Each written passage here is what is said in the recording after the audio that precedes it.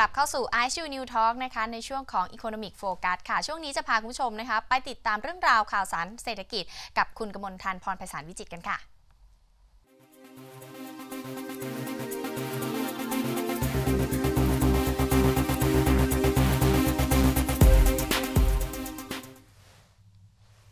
สวัสดีครับคุณผู้ชมครับ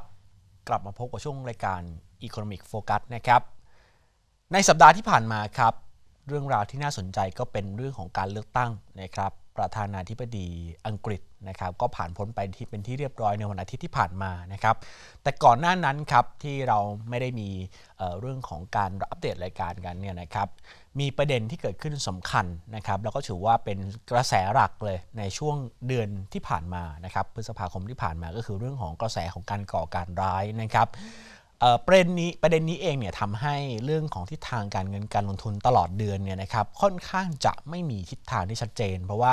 ในมุมหนึ่งเองเนี่ยนะครับแม้ว่าเหตุการณ์ไม่ได้เลวร้าย แต่ว่านะครับผลกระทบที่มีต่อเรื่องของความเชื่อมั่นเองก็มีสูงทีเดียวนะครับอย่างเหตุการณ์ที่เกิดขึ้นในอังกฤษเองนั้นก็ส่งผลกระทบนะครับจะเห็นว่า ความต้องการสินทรัพย์ปลอดภัยนะครับกลับมามีบทบาทอีกครั้งหนึ่ง ก็คือเรื่องของราคาทองคำนะครับกลับมาบวกได้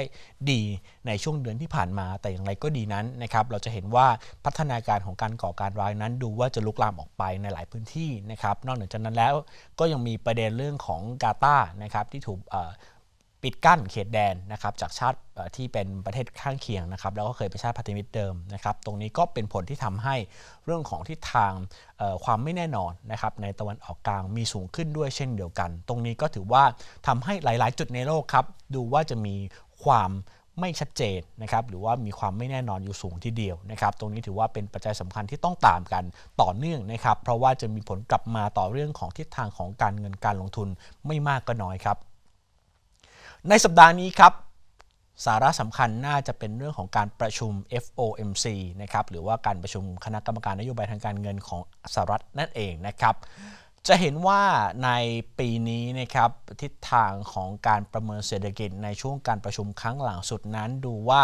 จะมีสัญญาณที่เปลี่ยนแปลงไปจากช่วงต้นปีนะครับเพราะว่ามีเรื่องการได้รับผลกระทบหลายด้าน ไม่ว่าจะเป็นนโยบายของคุณโดนัลด์ทรัมป์เองนะครับที่มีผลต่อทิศทางของเศรษฐกิจสหรัฐนะครับล่าสุดก็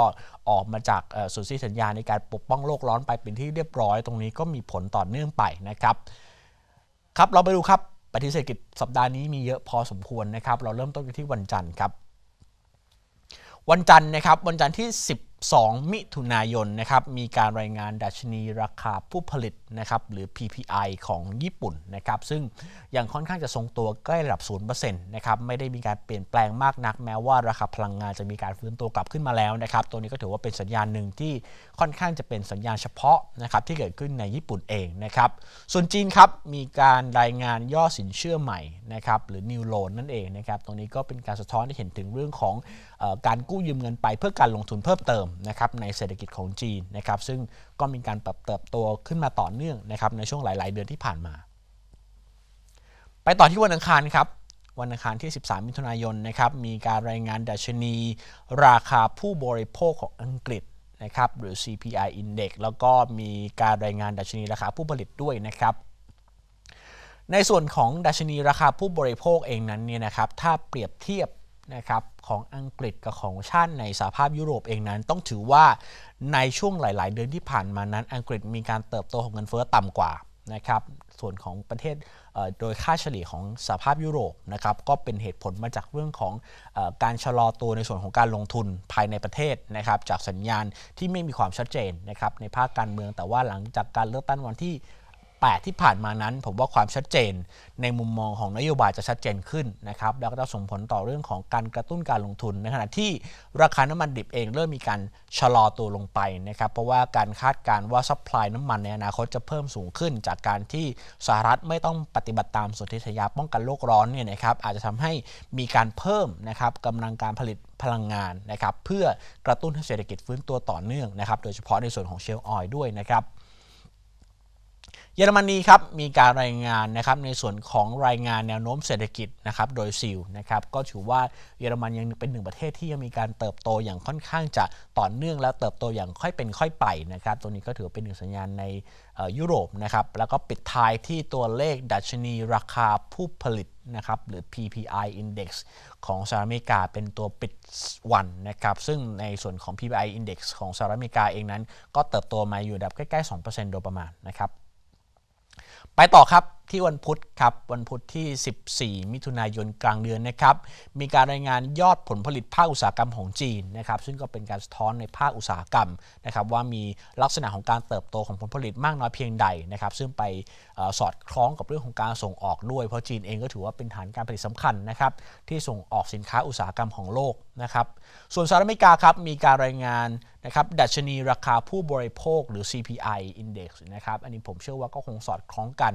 มีการชะลอตัวลงเล็กน้อยนะครับจากการพักตัวของราคาน้ำมันนะครับแล้วก็นอกเหนือจากนั้นแล้ว มีการรายงานยอดการค้าปลีก ซึ่งถือว่าเป็นหนึ่งตัวเลขสำคัญนะครับ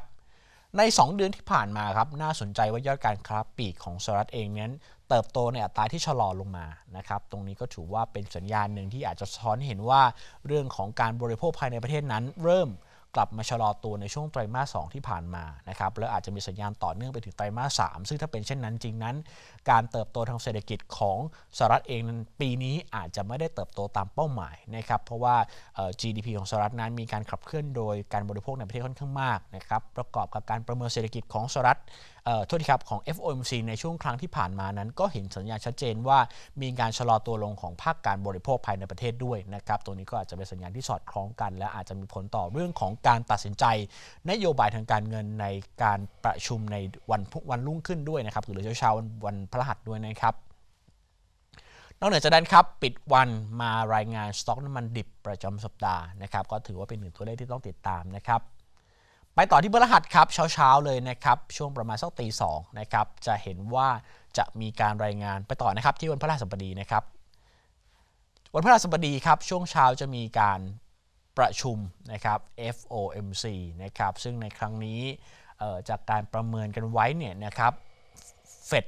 น่าจะยังไม่มีการขึ้นอัตราดอกเบี้ยนโยบายนะครับก็มาจาก 2-3สาเหตุด้วยกันนะครับประการแรกเองสหรัฐเองมีความไม่แน่นอนเพิ่มขึ้นนะครับโดยเฉพาะนโยบายของโดนัลด์ทรัมป์ที่ส่งผลให้เกิดความไม่แน่นอนนะครับในระบบเศรษฐกิจรวมถึงตลาดทุนนะครับสะท้อนผ่านการเคลื่อนไหวของดัชนีตลาดทุนต่างๆ เองก็จะเห็นว่า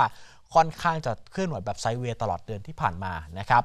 ประการที่ 2 เองเนี่ยเศรษฐกิจในภูมิภาคอื่นก็มีแนวโน้มสัญญาณที่ชะลอตัวลง โดยเฉพาะยุโรปนะครับจากผลกระทบจากเรื่องของภัยการก่อการร้ายก็ดีนะครับจากปัญหาเชิงโครงสร้างภายในประเทศที่มีระดับหนี้ค่อนข้างสูงก็ดี รวมถึงในภาคธนาคารด้วยนะครับตรงนี้ก็น่าจะเป็นอีกหนึ่งเหตุผลสำคัญ ในขณะที่คู่ค้าสำคัญเองนั้นจะเห็นว่าสหรัฐยังคงมีการขาดดุลนะครับแม้ว่าจะมีนโยบายต่างๆ ในการที่จะแทรกแซงนะครับการขาดดุลที่เกิดขึ้นของสหรัฐเอง แต่ว่าก็จะเห็นว่าในเชิงของนโยบายนั้นยังไม่สามารถนะครับที่จะปฏิบัติได้อย่างเป็นรูปธรรมนะครับ แล้วก็การบริโภคภายในประเทศเองนั้นก็ดูว่ามีสัญญาณที่ชะลอตัวลง อาจจะทำให้การประชุมในครั้งนี้นะครับเฟดอาจจะมีการคงอัตราดอกเบี้ยนโยบายไว้ที่ระดับเดิมนะครับในวันเดียวกันครับต่อเนื่องเลยนะครับมีการประชุมธนาคารกลางอังกฤษด้วยนะครับแม้ว่าในเชิงของนโยบายนั้นจะไม่ได้มีการเปลี่ยนแปลงอะไรมากนัก แต่ การประเมินเศรษฐกิจมีผลสำคัญครับ เพราะว่าการประชุมครั้งนี้ก็จะเป็นนัดแรกหลังจากที่อังกฤษทราบนะครับชื่อผู้นำคนใหม่นะครับ ตรงนี้ก็จะเป็นผลทำให้ในเชิงของแนวนโยบายทางเศรษฐกิจนะครับของรัฐบาลใหม่นั้น จะเข้ามามีผลสำคัญต่อเรื่องของการตัดสินใจทางนโยบายทางการเงิน หรือการประเมินเศรษฐกิจของธนาคารกลางอังกฤษด้วยนะครับ นั่นจึงเป็นเหตุผลที่เราต้องตามกันนะครับในส่วนของการประชุมอังกฤษนะครับ นอกจากนี้ครับสหรัฐมีการรายงานยอดผู้ขอรับสวัสดิการการว่างงานรายสัปดาห์นะครับ อันนี้ก็เป็นประจำทุกสัปดาห์อยู่แล้วนะครับ ที่จะมีการอัปเดตกันนะครับ นอกจากนั้นมันมีการรายงานตัวเลขที่เกี่ยวข้องกับภาคการผลิตก็คือผลผลิตภาคอุตสาหกรรม แล้วก็การอัตราการใช้กำลังการผลิต ซึ่งลดลงเล็กน้อยนะครับในเดือนที่ผ่านมาต้องตามต่อในเดือนนี้ครับว่าจะสามารถจะมีอัตราการผลิตนะครับสูงขึ้นมากหรือไม่นะครับ ปิดท้ายสัปดาห์ครับสุก ที่ 16 มิถุนายนนะครับมีการประชุมธนาคารกลางสำคัญอีกแล้วนะครับ จะเห็นว่าสัปดาห์นี้การประชุมธนาคารกลางสำคัญเยอะทีเดียวนะครับ วันศุกร์มีการรายงาน นักโทษนะครับการประชุม BOJ หรือการประชุมธนาคารกลางญี่ปุ่นนะครับซึ่งก็ถือว่าเป็นหนึ่งประเทศสำคัญ ซึ่งอย่างที่เรียนตอนต้นนะครับว่าญี่ปุ่นเองนั้นถือว่าในระยะหลังๆ นั้นยังไม่สามารถหลุดพ้นจากภาวะเศรษฐกิจที่ชะลอตัวออกไปได้นะครับดังนั้นนโยบายทางการเงินเองถือว่าเป็นนกลไกสำคัญหนึ่งที่ญี่ปุ่นเองใช้ในการขับเคลื่อนเศรษฐกิจนะครับแล้วก็ล่าสุดเองก็มีประเด็นเรื่องของข้อพิพาทในค่าส่วนเกาหลีด้วย ซึ่งก็จะมีผลกระทบต่อเรื่องของความเชื่อมั่น การลงทุนและการบริโภคอย่างเลี่ยงไม่ได้นะครับเพราะฉะนั้นก็คงต้องกลับมาดูครับว่าธนาคารกลางญี่ปุ่นนั้นจะตัดสินใจอย่างไรในการประชุมครั้งนี้นะครับยูโรโซนครับ มีการรายงานดัชนีราคาผู้บริโภคหรือ CPI นะครับ อันนี้รวมกลุ่มทั้งยูโรโซน 19 ประเทศนะครับ แล้วก็ปิดท้ายด้วยสหรัฐครับ มีการรายงานนะครับ ในส่วนของยอดนะครับ การขออนุญาตสร้างบ้านนะครับ ในเดือนล่าสุดนะครับ แล้วก็ยอดการสร้าง บ้านใหม่นะครับ ก็ถือว่าเป็น 2 ตัวเลขสำคัญที่ถือว่าเป็น leading นะครับ indicator ในส่วนของตลาดอสังหานะครับของสหรัฐอเมริกาเองนั่นเองนะครับจะเห็นว่าสัปดาห์นี้นะครับมีการรายงานนะครับตัวปฏิเศรษฐกิจออกมาค่อนข้างมากนะครับแล้วก็หลายตัวนั้นมีสาระสำคัญ โดยเฉพาะการประชุมธนาคารกลางต่างๆนะครับแม้ว่าบทบาทของธนาคารกลางในช่วงหลาย ๆ เดือนที่ผ่านมานั้นจะมีน้อยลง นะครับกว่าในช่วงที่เศรษฐกิจอยู่ในช่วงของการผัดเปลี่ยนหรือรอยต่อนะครับแต่อย่างไรก็ดีต้องเรียนว่าธนาคารกลางนั้นยังมีบทบาทสำคัญนะครับ